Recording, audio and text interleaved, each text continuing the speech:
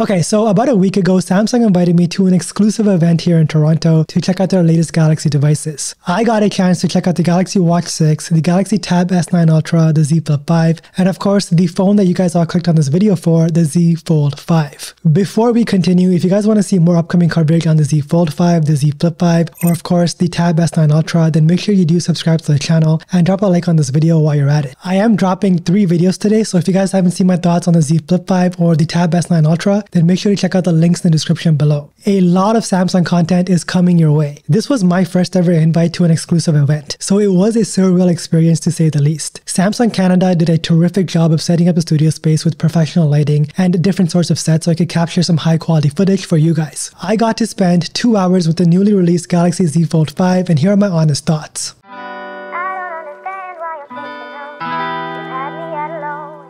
Samsung reps walked us throughout the room and talked about all the upcoming Galaxy devices. When we walked over to the Fold 5 section of the room, the rep handed me the Z Fold 5 and said, Here you go, hold it. Check out how light this phone is. So I grabbed the phone, not expecting much of a difference. But boy, was I ever wrong. I was honestly shocked at the weight of the device coming from a Fold 4. In the hands, the Fold 5 feels significantly lighter and much more compact. This is a much welcome change in my opinion. As a Fold 4 user, I did find this phone to get rather heavy at times, especially during extended periods of usage. So a lighter foldable that I can carry around with me without feeling the weight of the phone weighing me down on the daily is a change that I can get behind. This year there is a new color called Icy Blue along with beige and my favorite Phantom Black. There may also be some Samsung exclusive colors but I never got a chance to check them out. The new Icy Blue color looks amazing. It's a little bit of a light blue and in some lighting conditions it does look like it's lavender. My go-to color with all Samsung devices has always been Phantom Black and I don't see that changing anytime soon. Samsung's TM Roh did say Samsung's next lineup of foldables, including the Fold 5, will be the thinnest and the lightest foldable Samsung has ever made. And you know what? He wasn't lying. So how did Samsung manage to make the Fold 5 lighter, you ask? It's all thanks to the newly redesigned hinge. There is a slightly less noticeable crease now on the phone, the phone is lighter and it's packing a much faster processor in the Snapdragon 8 Gen 2. This new hinge allows for the Fold 5 to fold completely flat. You can tell by this footage that there is no gap between the two screens when the Fold 5 is folded, making the device a much more compact foldable overall. Another advantage of the new hinge is that it does also increase durability of the Fold 5. The new hinge can now be folded nearly 300,000 times, which is 50% more than the Z Fold 4's 200,000 times. A lot of you guys are always commenting about the durability of foldables, even though personally I have had no issues at all. It's really nice to see Samsung making some significant strides in the durability department with the Fold 5. With no gap when the phone is closed, this means less dust and dirt can get through to the screen. Once again, a much welcomed improvement on the durability front. While on the outside, there may not be many noticeable differences in terms of design from the Fold 4 to the Fold 5. It's when you hold the Fold 5 in your hands, you start to realize all the engineering that went behind this design. The Fold 5 is noticeably slimmer and marginally more compact. The outer display is still a 6.2 inch panel and the inner display is a 7.6 inch panel. Both displays do support 120Hz refresh rate and they are both OLED panels. Speaking of the inner display, there are some new updates to One UI specifically designed for the Z Fold 5's inner display. With the Fold 4, Samsung introduced the taskbar. Now with the new One UI updates, the taskbar is even better. You can now place 12 apps on your taskbar and 4 apps you frequently use will be suggested to you. A minor change that I really do appreciate is that now you can hold down an app and slide throughout the home screen to place the app on any window, instead of the old way of having to drag an app to the edge of the display and move it on over. Of course, the Fold 5 is a foldable, meaning that one of its main strengths is true multitasking. I say true because I feel like the Fold 5's inner display is truly big enough to actually multitask on. The potential to open up three tabs at once and one floating window and do whatever you want on each window is so useful to me. And let's not forget that this phone is like a personal pocketable PC thanks to Samsung DeX. In one corner, Samsung set up a showroom with a monitor to showcase the capabilities of Samsung DeX. The Fold 5 was connected to this monitor via Bluetooth and the experience was just so smooth and fluid. Just being able to do work or scroll the web on a monitor monitor or a TV like this is something that not many phones out there can replicate. Everyone, including myself, was wondering if Samsung would make the outer display bigger. But that's not happening this year, and I think it's the right move. Hear me out. The outer display, while it is smaller than other foldables, I still find it to be very useful. And on a foldable device, I'm using the inner display about 70% of the time, and a bigger outer panel would have meant that the overall weight of the fold would have inevitably gone up. So keeping this form factor and design is the right move for the time being, at least in my opinion. As I mentioned earlier, yes, there is a crease on the Fold 5's inner display, although I will say it is a lot less noticeable now in certain angles. I know that I may be in the minority here, but the crease has never really bothered me. I've made this analogy before and I'll keep making it till my point gets across about the crease to you guys. For me, the crease is comparable to my nose. Yes, my nose. You see, your nose is always within your field of vision, but the human brain chooses to ignore the nose because it's not necessary information you need to function on a day-to-day -day basis. In the same way, after you spend some time with the Fold 5, your brain learns to ignore the crease, and it does become a lot less noticeable, I promise. Now, what I'm super excited for is the new chipset. We all know that the Snapdragon 8 Gen 2